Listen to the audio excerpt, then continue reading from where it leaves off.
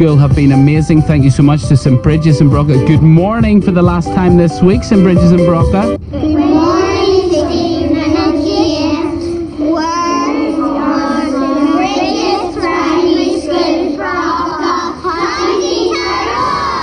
Hooray! Now we have